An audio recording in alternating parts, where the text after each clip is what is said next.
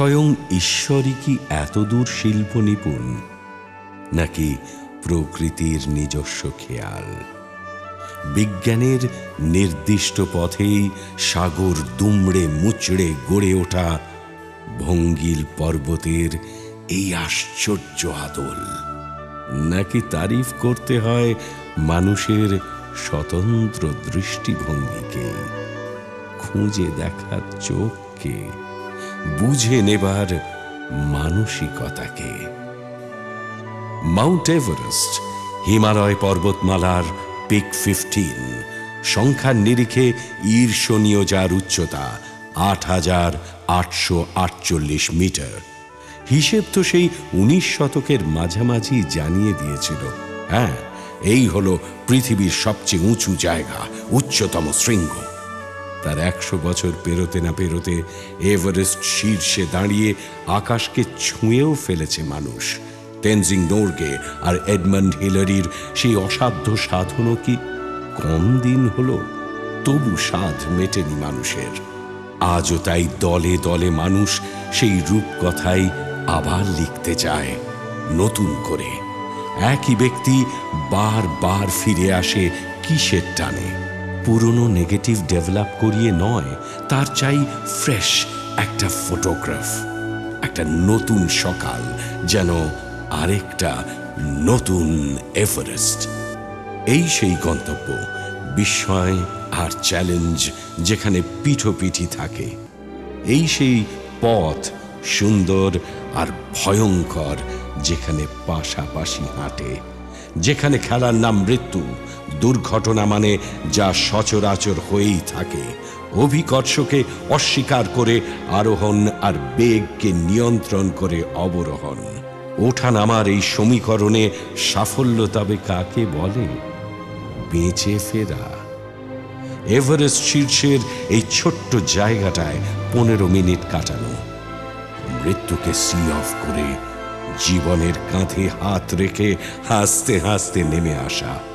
যে সাফল্যের bottom line একটাই, সবার উপরে মানুষ সত্য প্রাতিষ্ঠানিক সার্টিফিকেট মিডিয়ার হইচই, সেখানে নেহাতি তুচ্ছ।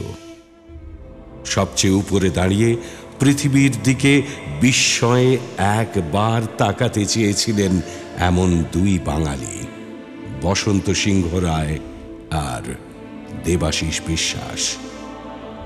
মাউন্টেনিয়ার্স অ্যাসোসিয়েশন অফ কৃষ্ণনগর বা ম্যাকের সদস্য। পাঁচজনের দল, দুজন ক্লাইম্বিং মেম্বার বসন্ত সিংহ রায় ও দেবাশিস বিশ্বাস। তিনজন সাপোর্টিং মেম্বার অশোক রায়, বিভাস সরকার ও সৌরভ সিঞ্চন মণ্ডল। পয়লা এপ্রিল। কলকাতা বিমানবন্দর থেকে কাঠমান্ডু।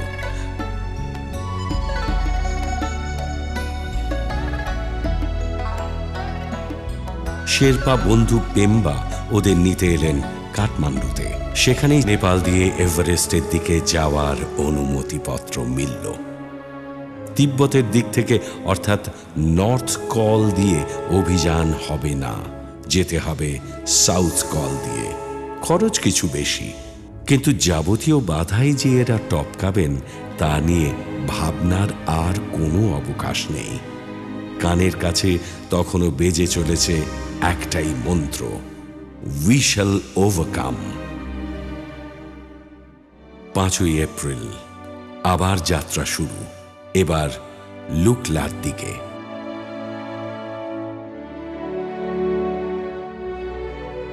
আধ ঘণ্টার মধ্যেই পৌঁছে গেলেন লুকলা। এই এয়ারপোর্টের নাম তেনজিং এলারি এয়ারপোর্ট। এই রুটের নামও হিলারি তেনজিং রুট। এর উপরেই হিমালয়া লজ। বেশ সাজানো গোছানো। সেখানে রাত কাটল। পরদিন ছয় এপ্রিল। ট্রেকিং শুরু। হাঁটা আরম্ভ হল সকাল সোয়া আটটায়। উত্তর মুখে পথ।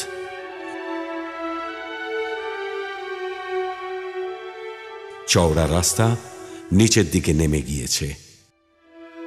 পুরো পথটাই দুধকোশী নদীর বরাবর। কখনো বা ব্রিজ ধরে বাঁ দিক থেকে ডান দিক, কখনো বা ডান দিক থেকে বাঁ দিক পার হয়ে হয়ে এগিয়ে চলা। শুরুতেই এ এক বিচিত্র যাত্রা। চিপলাং নার্নিং পার হয়ে ততক্ষণে ওরা পৌঁছে গিয়েছেন ফাকদিং দু হাজার ছশো দশ মিটার। সেখানেই দুপুরে খাওয়া। ফের পথ চলা। এরপর ব্যাংকার থেকে নদী পেরিয়ে ভাঙতে হলো কিছুটা চড়াই। পড়ল মঞ্জু নামের সুন্দর মিষ্টি এই গ্রাম। মঞ্জু ছাড়িয়ে কিছুটা এগিয়ে সাগরমাথা স্যাংচুয়ারি পার্কের প্রবেশ পথ টিকিট কেটে প্রবেশ করা হলো। এরপর দড়ির ব্রিজ ধরে ফের পেরোতে হলো দুধকোশী নদী।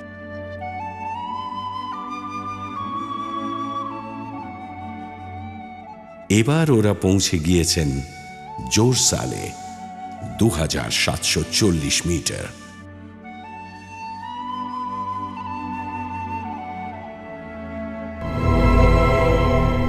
পরদিন ফের যাত্রা, হাঁটার হাঁটা দুধকোশী নদী বরাবর। এবার বাঁ দিকে পথ। ব্রিজ পার হয়ে শুরু হলো টানা চড়াই। অনেকটা উঠে কিছুটা চওড়া একটি জায়গা।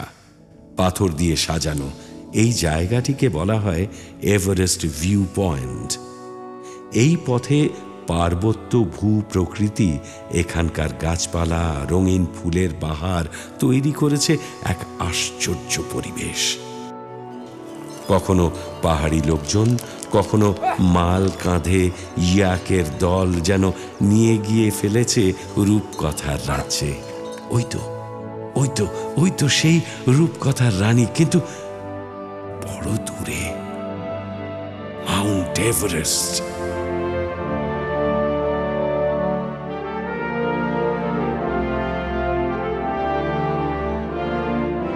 আরও অনেকটা উঠে এসে পড়ল নামচে বাজার উচ্চতা তিন হাজার চারশো চল্লিশ মিটার।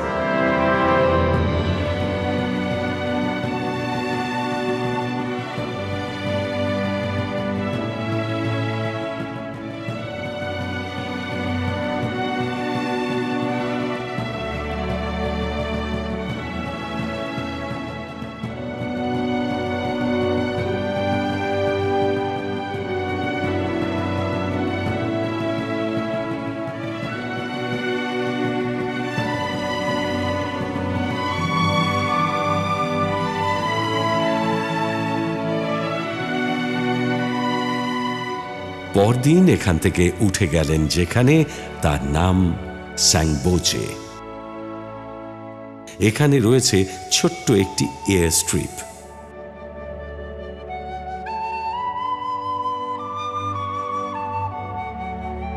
মাটি পাথর, নুড়ি পাথরের মধ্যেই ওঠানামা করছে বিমান, ছোট ছোট বিমান।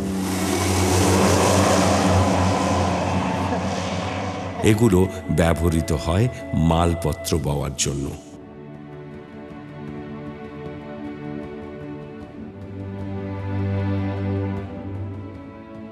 আর একটু ওপরেই এভারেস্ট ভিউ হোটেল। এখান থেকে এভারেস্টের চমৎকার দৃশ্য চোখে পড়ে। মন ভোলানো রূপ, যার টানে ছুটে আসা এত দূর, এত বিপদ অস্বীকার করে। এত ত্যাগ আর পরিশ্রম স্বীকার করে। এভারেস্ট, লোৎসে আর নুপসে। ডান দিকে আমাদা ব্লাম। কিছুটা উঠে গিয়েই ওই দূরে, অনেকটা নিচে দেখা যাচ্ছে সুন্দর দুটি গ্রাম, খুন্দে আর খুমজুং। একসময় এরা নেহাতি ছোট্ট ছিল, তবে এখন বেশ বর্ধিষ্ণু। গোটাটাই স্যার এডমন্ড হেলারির কৃতিত্ব। আজ এখানে হাসপাতাল, স্কুল, বাজার সব সব গড়ে উঠেছে। এতক্ষণ লুকলা থেকে পথ ছিল উত্তর দিকে। এবার নামচে বাজার ছাড়িয়ে পথ উত্তর পূর্ব অভিমুখে।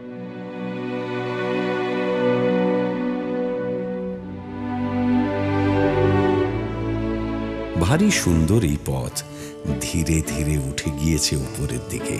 সামনে সেই এভারেস্ট লোৎসে আর নুপসে। একটু ডান দিকে বিখ্যাত আমাদাবলাম, নিচে দুধকোশি নদী।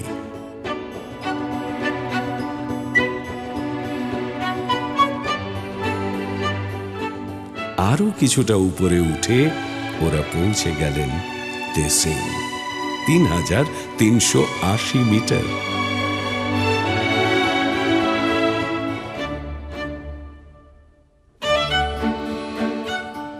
ব্রিজ ধরে পেরোনো হলো দুধকোশি নদী অতি সন্তর্পণে। এবার এগিয়ে যাওয়া দুধকোশি নদীকে পিছনে ফেলে সামনে প্রাণান্তকর খাড়া চড়ায় এরপর পড়ল এক চৌমাথা। কোথা থেকে আসা আর গন্তব্যই বা কোন দিকে? সুন্দরভাবে বুঝিয়ে দেয় এই চৌমাথা। ওরা এসেছেন নামচে বাজার থেকে বাঁদিকে পথ, খুমজুং গ্রাম থেকে, সোজা উপরের দিকে গোকিও যাওয়ার পথ, আর ডান দিকে সেই গন্তব্য। ট্যাংবোচে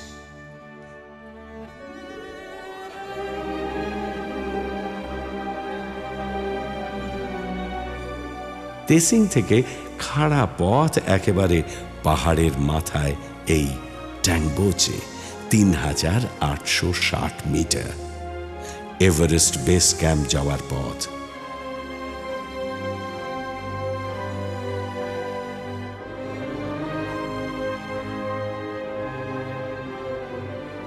এ পথের সবচেয়ে বড় বৌদ্ধ গুম্ফা রয়েছে এখানেই।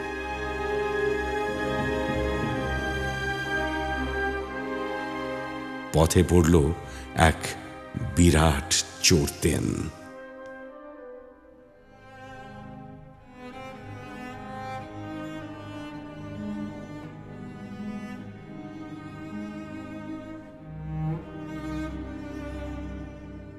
ট্যাংবোচে ছাড়িয়ে এবার পৌঁছে গেলেন প্যাংবোচে, তিন হাজার নশো তিরিশ মিটার। এখানে রয়েছে অঞ্চলের প্রাচীনতম বৌদ্ধ গুম্ফা সেখানেই ত্রিকালদর্শী প্রাজ্ঞ গেসে লামার কাছে আশীর্বাদ গ্রহণের পালা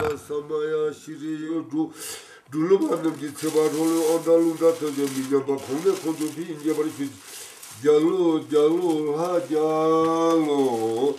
Dar nu te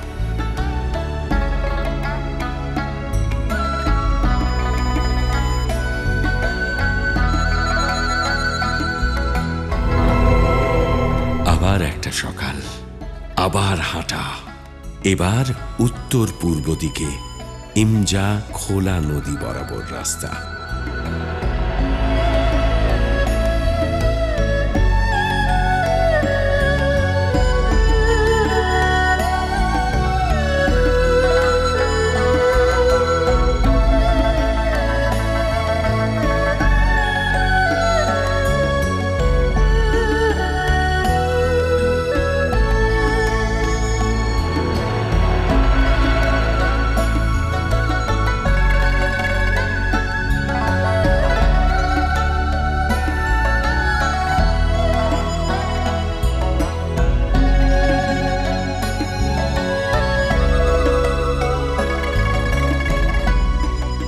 বারোটার মধ্যেই ওরা পৌঁছে গেলেন ডিংবোচে, চার হাজার চারশো পঁয়তাল্লিশ মিটার উঁচু।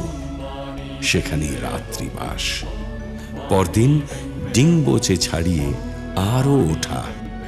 হাঁটতে হাঁটতেই পথে পড়ছে অনেক চড়তেন সেখানে নানা ধরনের প্রেয়ার ফ্ল্যাগ সাজানো।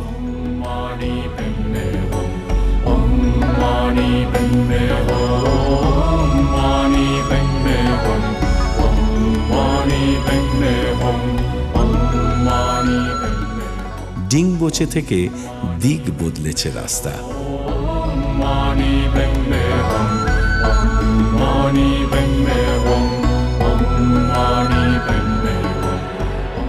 এবার আর উত্তর পূর্ব নয় উত্তর পশ্চিম বরাবর যাত্রা। পথের পাশে আর কোনো গাছ নেই। সঙ্গী বলতে শুধু জুনিপার আর পাথর নুড়ি এই পথ ধরেই পৌঁছে গেলেন থোকলা, চার হাজার ছশো কুড়ি মিটার। ডান দিকে খুম্বু গ্লেসিয়ার, এভারেস্টের পায়ের কাছ থেকে শুরু হয়ে এই থোকলাতে এসেই শেষ হয়েছে খুম্বু গ্লেসিয়ার এবার পথ খুম্বুর ডান দিক ধরে প্রায় উত্তর মুখে।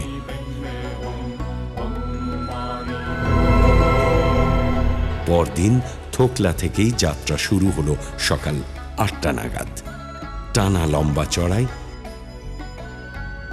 চড়াই শেষ হলে বেশ কিছুটা বিস্তৃত এলাকা। বানানো রয়েছে বিভিন্ন স্মৃতিফলক। সুদৃশ্য। কিন্তু এরাই ভয়ঙ্কর সব মৃত্যুর সাক্ষী। শেষ যাত্রার নোটিশ বোর্ড। অ্যাডভেঞ্চার আর পাহাড়ের নেশা যাদের জীবন কেড়ে নিয়েছে, সেই সব বন্ধুদের প্রতি শ্রদ্ধার্ঘ। এভারেস্ট অভিযানে এসে যারা চলে গিয়েছেন, আরও ঠান্ডা মৃত্যুর হিম জগতে তাঁদের স্মৃতিতে বানানো। এই তো সেই বিখ্যাত বাবু বাবুচিরি শেরপার স্মৃতিফলক। এই পথ ধরেই ঘণ্টা দুয়েকের মধ্যে পৌঁছে গেলেন লবুচে। সেখানেই রাত কাটানো।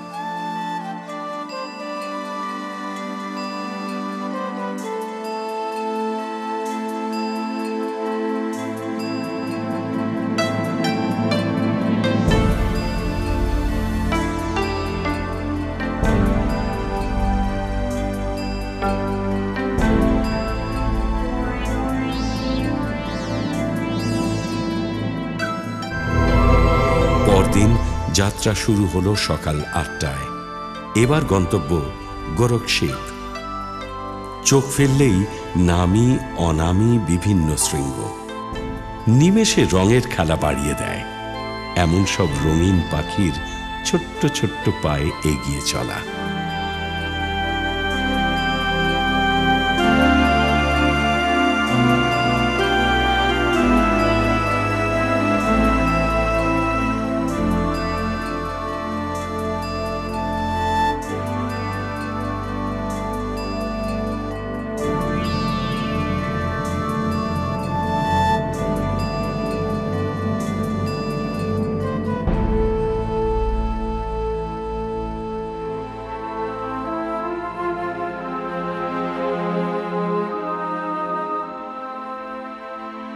সামনে তাকালেই চমৎকার এক শৃঙ্গ, পুমরি, সাত হাজার একশো চৌত্রিশ মিটার। এরই ডান পাশে লিংটান ছ হাজার সাতশো তেরো মিটার। আরও আরও ডান পাশে খুম্বুৎসে, ছ হাজার ছশো উনচল্লিশ মিটার। এর পাশেই লোলা পাস উচ্চতা ছ হাজার ছাব্বিশ মিটার। এই পথেই আগে তিব্বতের দিকে চলে যাওয়া যেত। এখন অবশ্য আর ব্যবহৃত হয় না। লোলা পাসের পিছনে তিব্বতের দিক থেকেই উঁকি মারছে ছাংসে শৃঙ্গ, যারা নর্থ কল দিয়ে এভারেস্ট আরোহণ করেন। তাদের এই ছাংসে শৃঙ্গকে ডান দিকে রেখে বাঁ পাশ দিয়ে উঠে যেতে হয়। আর লোলা পাসের ডান দিকে এই অংশটি অবশ্য আলাদা কোনো শৃঙ্গ নয়। এটি এভারেস্টেরই ওয়েস্ট শোল্ডার উচ্চতা সাত হাজার দুশো আটষট্টি মিটার। এর পাশ থেকেই উঁকি মারছে সেই নুপসে, সাত হাজার আটশো চৌষট্টি মিটার শৃঙ্গ। এভারেস্টের ওয়েস্ট শোল্ডার আর নুপসের মাঝের এই ফাঁক দিয়ে কখনো কখনো দেখা মেলে তার, যার উদ্দেশ্যে এই দুর্গম যাত্রা। Mount Everest.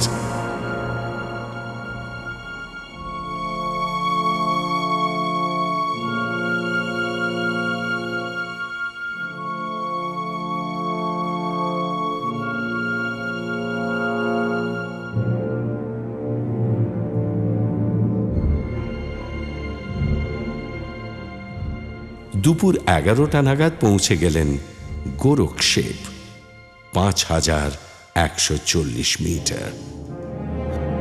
সামান্য কিছু জলযোগ করেই ফের বেরিয়ে পড়া।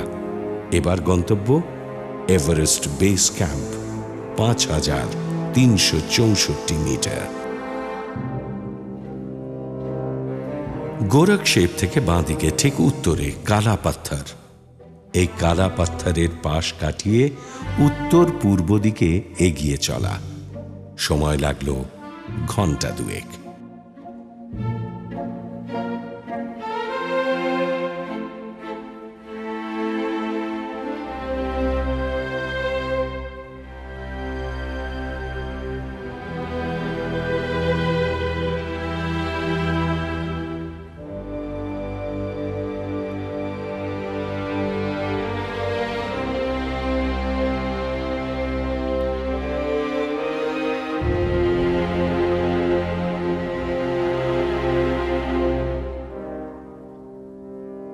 বেস ক্যাম্পে পড়েছে অন্যান্য দলের কত কত সুদৃশ্য তাঁবু। তার মধ্যেই নিজেদের অস্থায়ী ঘরদোর সাজিয়ে নেওয়া। ক্যালেন্ডারের পাতায় সেটা চোদ্দই এপ্রিল। টাঙিয়ে নেওয়া হলো তাঁবু। সঙ্গে kitchen tent, toilet tent. Kitchen টেন্টের পিছনেই কুক লীলাবতী ও বুদ্ধি আর সহযোগী সন্তোষ রানার জন্য তাঁবু। কিচেনের সামনে আরেকটি তাঁবু পেম্বা শেরপা আর।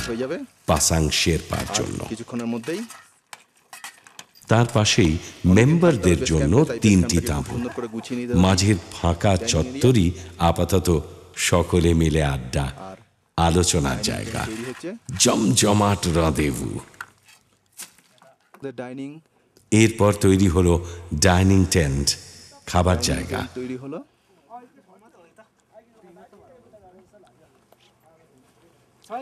এরপর থেকে এখানেই আমাদের খাবার দাবার হবে। বেশ বড় টেন্ট।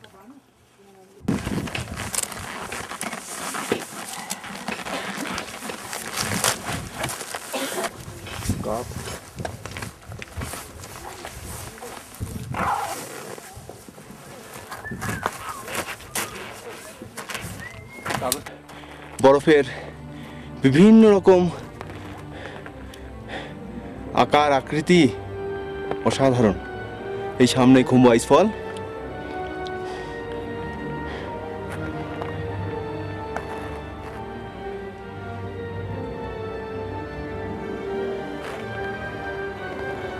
পাশ দিয়ে চলে গিয়েছে রাস্তা।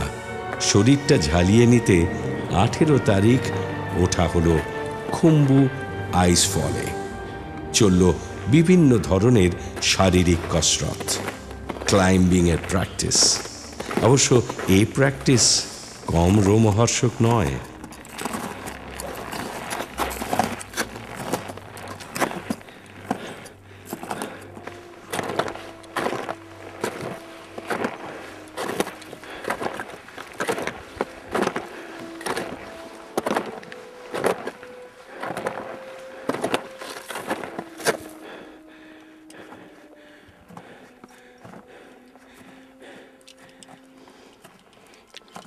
এই আইস ফলের উপরে আমাদের ক্যাম্প ওয়ান জুমার্নিং করে উঠে যাচ্ছে। উপরে আছে পেম্বা শেরপা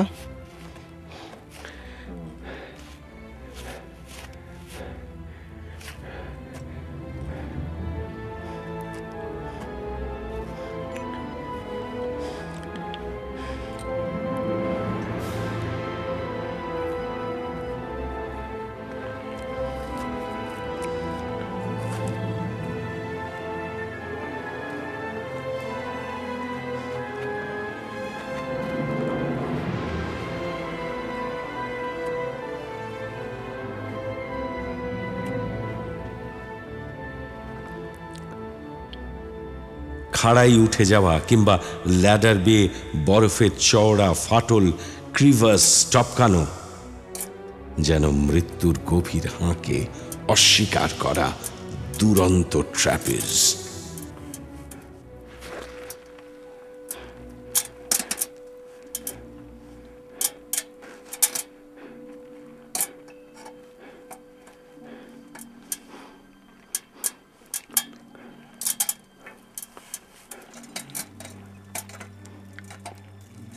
কিছুটা ঘাম ঝরানো কিছুটা রপ্ত করে নেওয়ার চেষ্টা। পরিবেশের সঙ্গে খাপ খাইয়ে নেওয়ার প্রয়াস। সব মিলিয়ে পরিশ্রম মন্দ না। তাই বেস ক্যাম্পে ফিরে এসে খাওয়া দাওয়া ছিল খুব জরুরি। সঙ্গে মনটাকে হালকা রাখতে গল্পগুজব and um,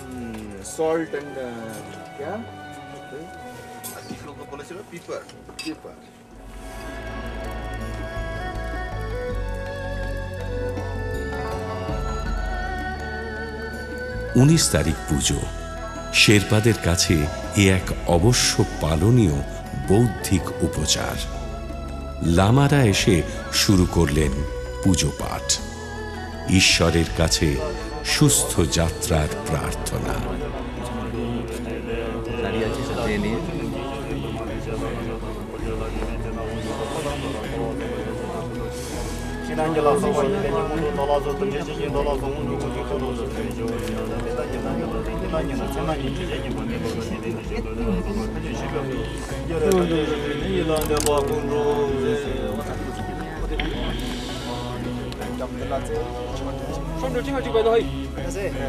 টাঙানো হলো প্রেয়ার ফ্ল্যাগ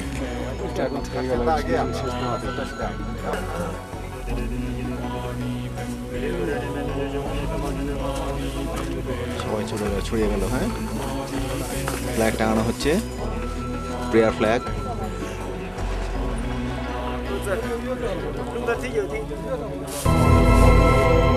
আজ সকাল তিনটে পনেরো রওনা দিয়েছি। নিচে বেস ক্যাম্পে খোদল দিয়ে আমরা উঠে এসেছি। সামনেই পুমড়ি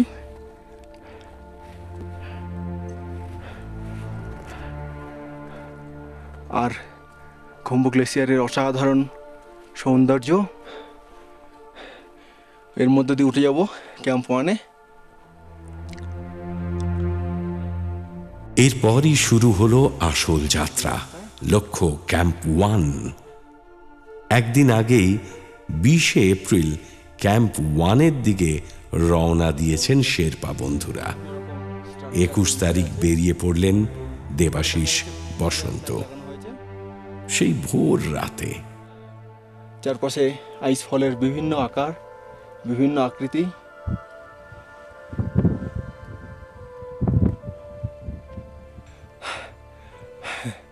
সামনে যাচ্ছে বসন্তদা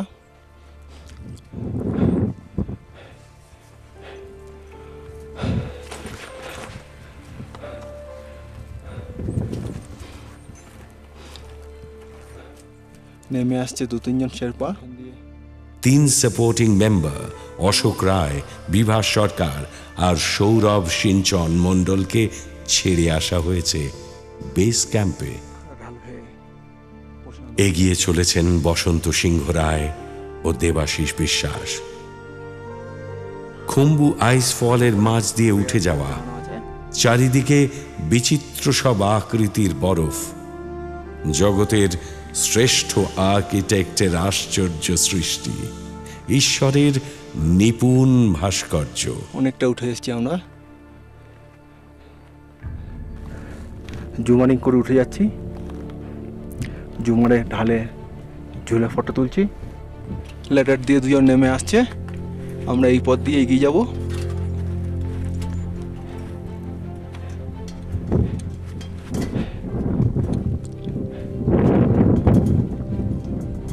এইভাবেই ল্যাডার ধরে ক্রিভাস পার হতে হয়। সেসব পাশ কাটিয়ে এগিয়ে চলা।